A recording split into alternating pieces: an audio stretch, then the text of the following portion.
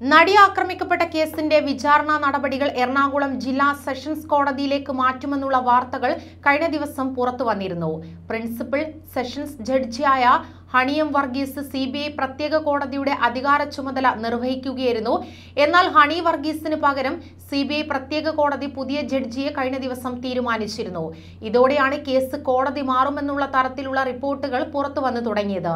കേസിന്റെ വിചാരണ എറണാകുളത്തെ പ്രത്യേക സി കോടതിയിൽ നിന്ന് ജില്ലാ പ്രിൻസിപ്പൽ സെഷൻസ് കോടതിയിലേക്ക് മാറ്റുന്നതിനെതിരെ അതിജീവിത രംഗത്ത്.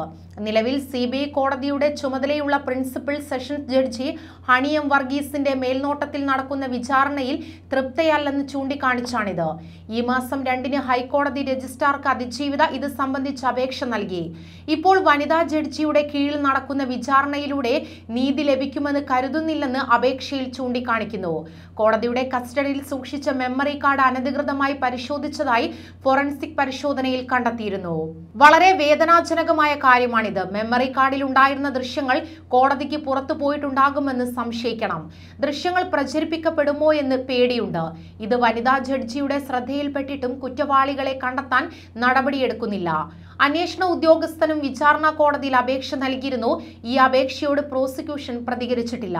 സുതാര്യമായ വിചാരണയല്ലെന്ന് ചൂണ്ടിക്കാണിച്ച് രണ്ട് സ്പെഷ്യൽ പബ്ലിക് പ്രോസിക്യൂട്ടർമാർ രാജിവെച്ചിരുന്നു.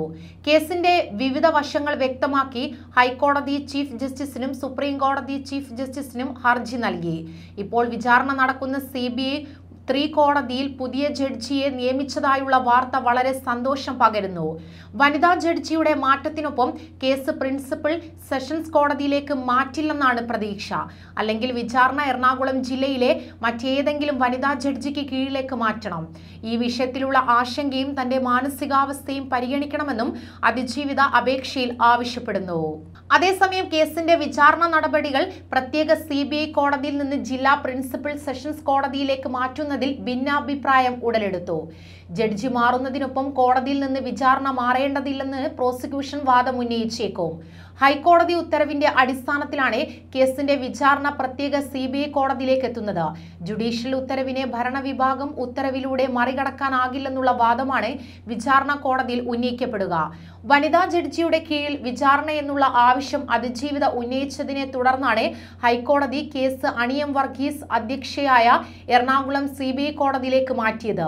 അതിജീവിത നൽകിയ ഹർജിയിൽ ജസ്റ്റിസ് രാജ വിജയരാഘവന്റേതായിരുന്നു ഉത്തരവ്. അതോടൊപ്പം തന്നെ കോടതി മാറ്റത്തിന് നിയമ തടസ്സമില്ലെന്നും ചൂണ്ടിക്കാണിക്കപ്പെടുന്നുണ്ട്. ഇപ്പോൾ കേസിന്റെ വിചാരണ നടത്തുന്ന ജഡ്ജിയുടെ അധ്യക്ഷതയിലുള്ള കോടതിയിലേക്ക് കേസ് മാറ്റുന്നതിൽ അപാകമില്ലെന്ന് സുപ്രീം കോടതി അഭിഭാഷകനായ എ എം ആർ അഭിലാഷ് അഭിപ്രായപ്പെട്ടിരുന്നു. You are watching You are watching You're watching me and you're watching me on, on metromatney.com. on metromatney.com. metromatney.com. Metromatney.com. Subscribe for more videos. Subscribe for more videos. Subscribe here for more videos. Subscribe now. Thank you.